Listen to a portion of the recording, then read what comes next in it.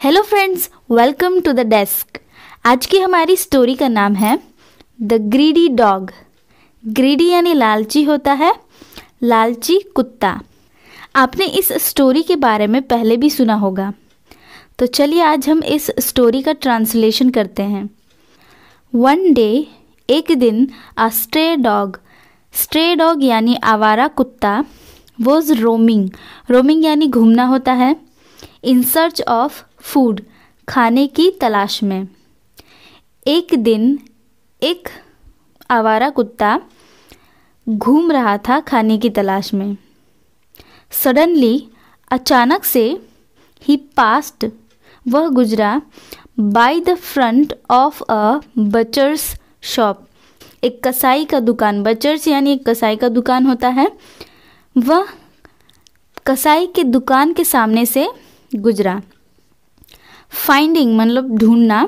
Finding मतलब ढूंढना। A chance मौका। चांस मतलब मौका होता है।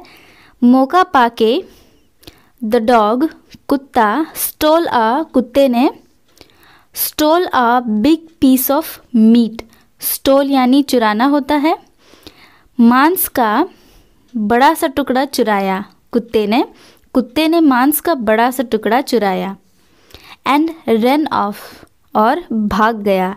रन मतलब भागना होता है या रन का सेकेंड फॉर्म है run.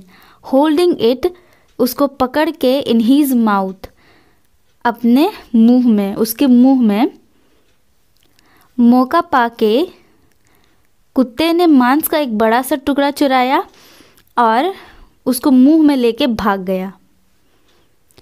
The dog wanted the dog wanted to eat wanted मतलब चाहना होता है यह वॉन्ट का सेकेंड फॉर्म है। वॉन्टेड ईट मतलब खाना होता है। कुत्ता खाना चाहता था। द पीस ऑफ़ मीट मांस के टुकड़े को खाना चाहता था। अलोन अकेले खाना चाहता था। एट अ लोनली प्लेस एक अकेली जगह पे अकेले खाना चाहता था।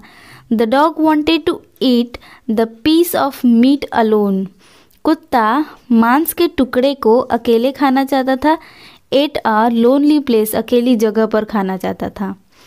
ही फियर्ड उसे डर था दैट कि अदर स्टे डॉग्स दूसरे जो आवारा कुत्ते हैं might snatch it from him snatch मतलब छीनना होता है। उससे छीन सकते हैं।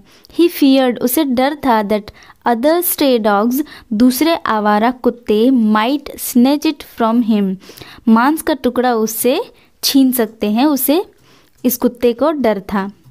सो so, इसीलिए ही रन आउट वह भाग गया ऑफ़ द टाउन सिटी से बाहर भाग गया वो शहर से बाहर भाग गया। To eat the piece of meat at peace peace मतलब शांति।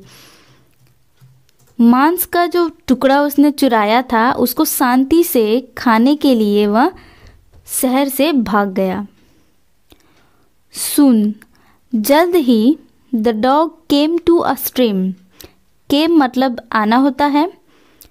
ये कम का सेकेंड फॉर्म है कैम और यहाँ पर स्ट्रीम का मतलब होता है धारा, पानी की धारा।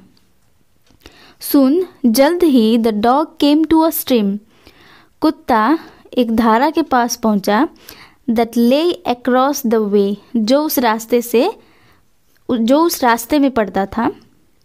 It had a wooden bridge over it wooden bridge मतलब लकड़ी का पुल ओवर इट जिसके ऊपर एक लकड़ी का पुल था। वाइल्ड रनिंग दौड़ते हुए over the bridge over the bridge यानी पुल पर दौड़ते हुए the dog happened to look the water of the stream look into the water मतलब पानी में देखना। कुत्ते ने पानी के अंदर देखा ऑफ़ द स्ट्रीम धारा के पानी के अंदर देखा एज जैसे कि the water was very clear very clear मतलब बहुत साफ़, पानी बहुत ही साफ़ था। He could clearly see clearly see मतलब साफ़ तरीके से देखना। यहाँ पर सी का मतलब होता है देखना। वह ठीक से देख रहा था, देख पा रहा था। हिज रिफ्लेक्शन रिफ्लेक्शन मतलब प्रतिबिंब, उसका प्रतिबिंब इन वाटर पानी में। As the water was very clear जैसे कि पानी बहुत ही साफ़ था he could clearly see his reflection in the water वह हाँ वह अपना प्रतिबिंब पानी में अच्छे से देख सका। The dog could not follow. कुत्ता समझ नहीं सका दैट कि he was looking at his own reflection looking मतलब देखना होता है। वह ओन रिफ्लेक्शन मतलब खुद का प्रतिबिंब देख रहा था इन द वॉटर पानी में। The dog could not follow कुत्ता यह नहीं पहचान सका that he was looking at his own reflection in the water वह पानी में अपना प्रतिबिंब देख रहा था। वह कुत्ता समझ नहीं सका।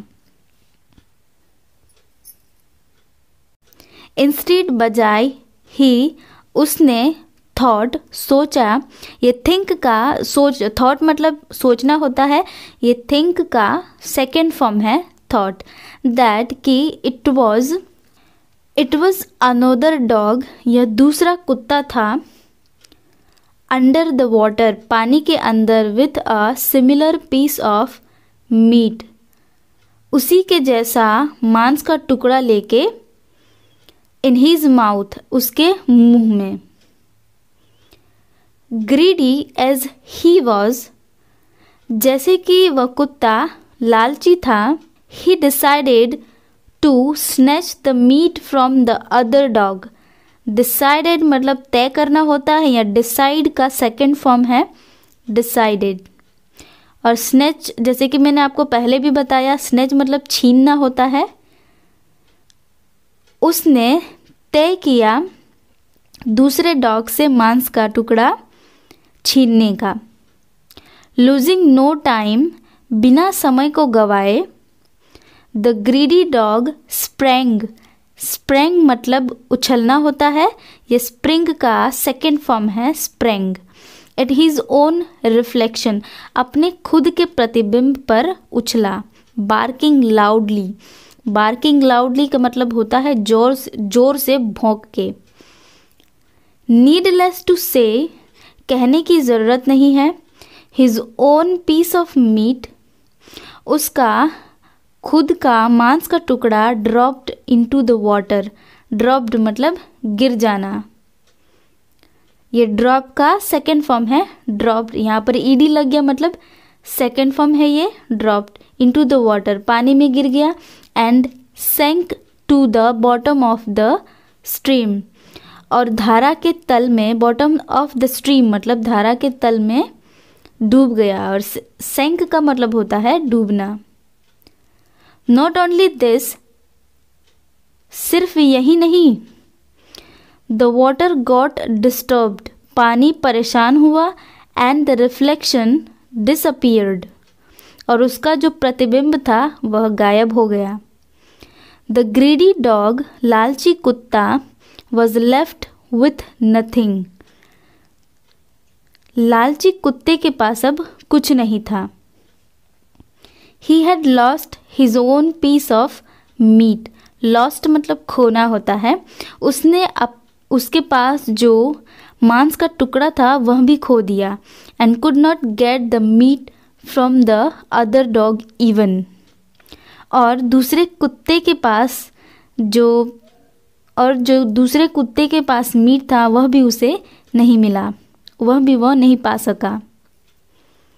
The dog lost his piece of meat कुत्ते ने मांस का टुकड़ा खो दिया ओनली बिकॉज़ सिर्फ़ इसीलिए क्योंकि ही वॉज़ टू ग्रेडी वह बहुत ही लालची था।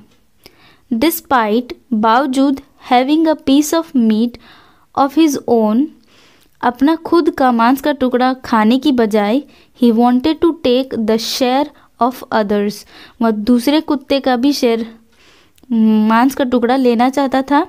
As a result he lost his own even फलस्वरूप, उसने उसने उसका मांस का टुकड़ा भी खो दिया।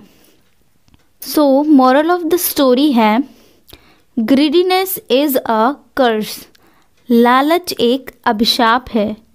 कर्स का मतलब होता है अभिशाप। सो so, फ्रेंड्स अगर आपको इस तरह के वीडियोस अच्छे लगते हैं और आप आगे भी इस तरह के वीडियोस देखना चाहते हैं तो प्लीज़ वीडियो को लाइक शेयर और कमेंट ज़रूर करें। Thanks for watching